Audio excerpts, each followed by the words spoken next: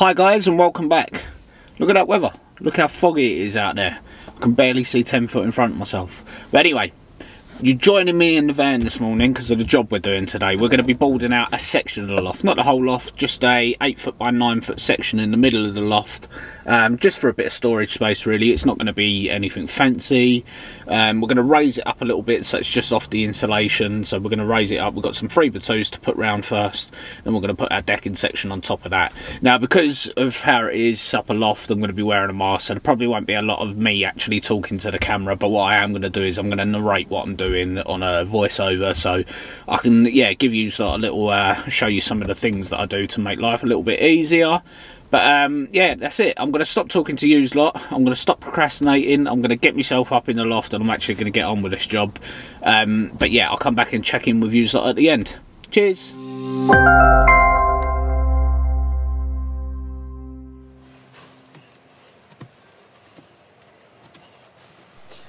Okay, so we start off with doing the uh, the horrible job out of the lot, getting rid of all this old insulation. Now we'll be going back in, but obviously we've got to build up the frame first and uh, give it somewhere to put the insulation in.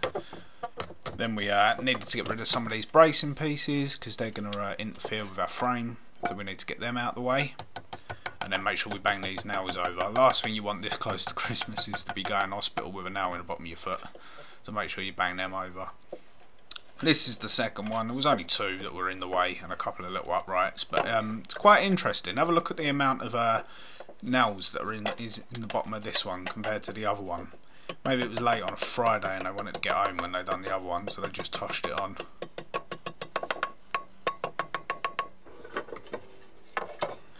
Now start getting my timbers in place. Well, up into the loft space anyway. And then we can start marking out for our front and our back pieces. So I was going to work this out, but it actually worked out quite nicely with just doing it at 400 centres. Um, that worked out well, and then that falls in line with the join on me, um, the join on me boards that I'm going to be using, my decking boards. You see me there mark the tops. Now this is good so that I don't get it the wrong way round when we get over to the other side.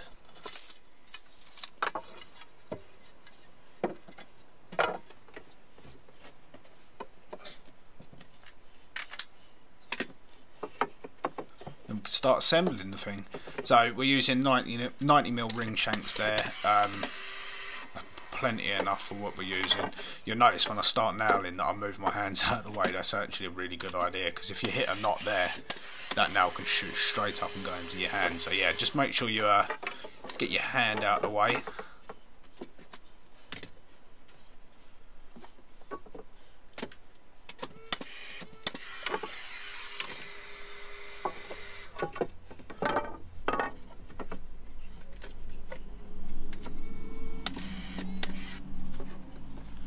Onto the other side paying attention to making sure that that uh, top marks at the top. I'll just mark it with a T. No need to go any fancy with this. But you can see the section size that we're going to be doing now. So it's not not a massive area but it just means when when you climb up from the loft you've got something decent to stand on somewhere to store some boxes and bits and pieces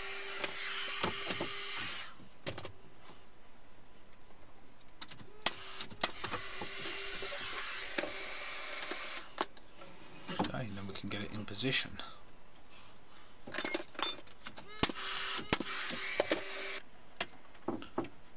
Now I want to make sure that none of these loose cables that are running through are underneath any of the frame. I don't want to trap any of the cables so I just spend a couple of minutes moving the cables round, getting them all out of the way and then I'm lining that front post up with a beam that's already there. Now, it's a good idea to make sure this is straight. So you can see here that I nail both ends and then in a minute you're going to see I'm going to put a string line through just so I can make sure that that front that front one's straight because that's going to make it a hell of a lot easier when we put our decking boards in.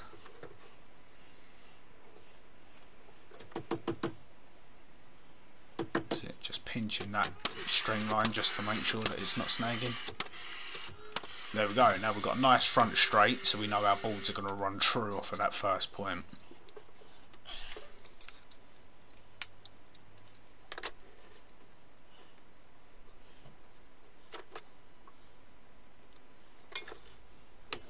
Now the next thing to do is to make sure that we've actually got it um, square because yet again for running them boards so we just do a quick corner to corner to check that's more than enough to do it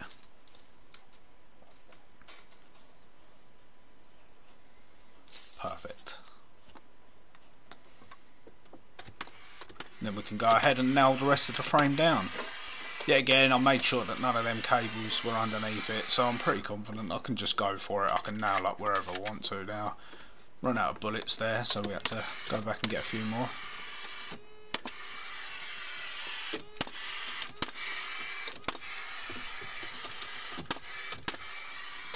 really love that Hitachi nailer. I've had that for years and it's never let me down. Never failed once. I've got the same in the first, uh, in the second fix. Sorry, um, that's been in to be repaired a few times. But that that second fix, uh, that first fix nailer, never once had a problem with it.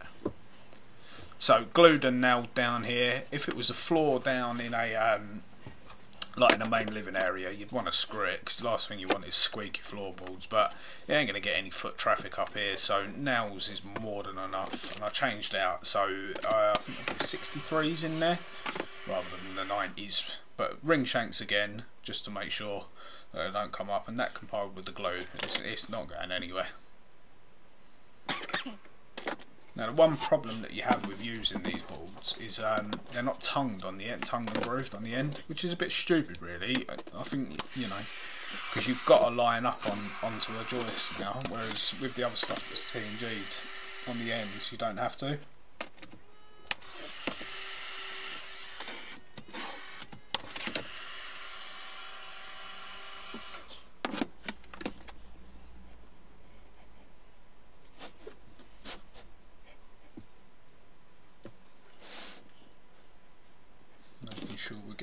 Everywhere.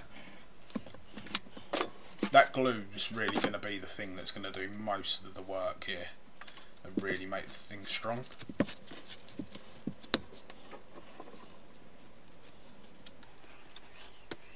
Okay, jump forward a little bit here.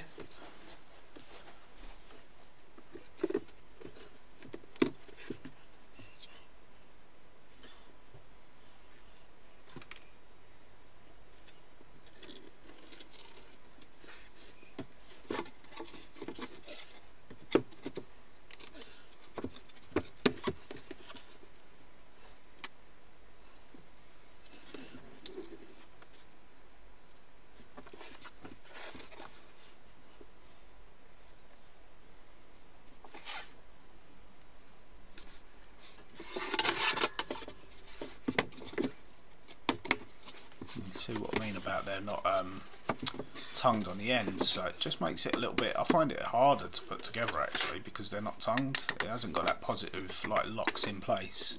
But hey ho what can you do? So you'll see here that I don't um, nail it up completely at this stage. It just makes it easier to just sort of like put a few nails here and there until you've got all your boards in and then I go round at the end nailing the whole thing up. Um, and equally here you'll see that I don't I'm not starting from the end every single time. It's because we want to stagger them joints. We don't want the joints all to be running together. So yeah staggering them off. So I can take a full board here which gives me a 400mm overhang onto the next one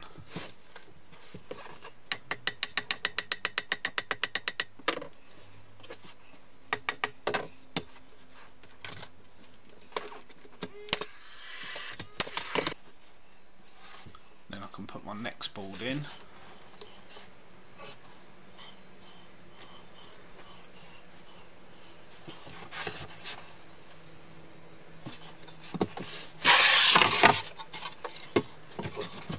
And before I fix anything down, you can see I cut the end off and then the bit that I cut off can then be put back into the first bit, into the missing section if that makes sense.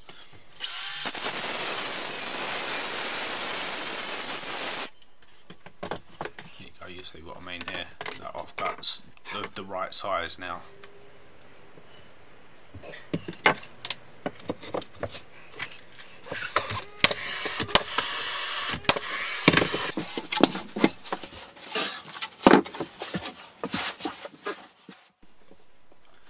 Keen-eyed lot of yous out there will notice that I've put some extension pieces on there. And that's just because I had some extra boards. We had a little bit of extra space there, so I just thought we might as well use it, giving them a bit more working space.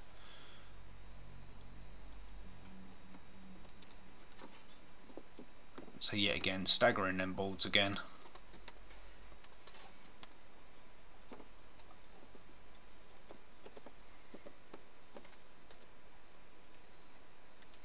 Bullets again.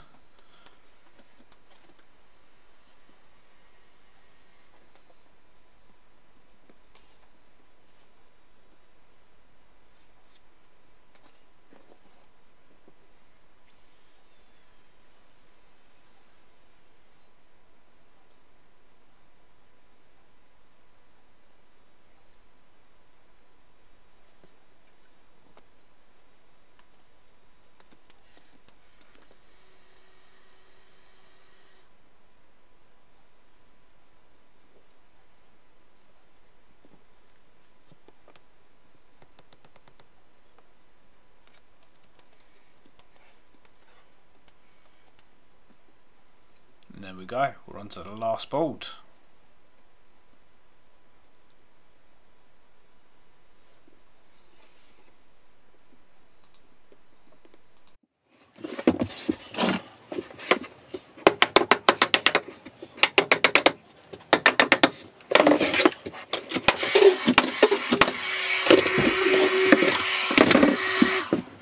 And there you have it that's the job done. Now i'm not going to beat around the bush that was not a pleasant job.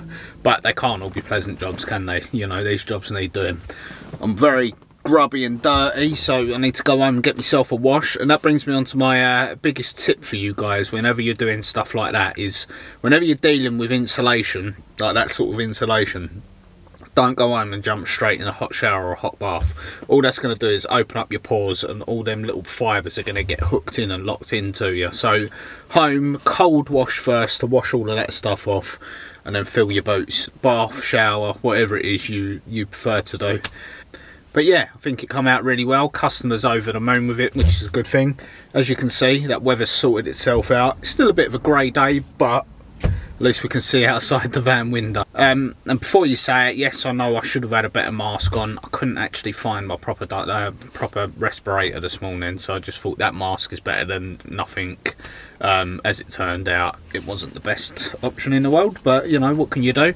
Um, but yeah, without further ado, I'm going to leave it there. I want to thank you guys for watching along. If you want to see more of these sort of videos or tutorials or tool reviews and all that, hit that subscribe button, ding that bell, you'll be up to date with all my videos. Thanks for watching. I'll see you on the next one. Cheers.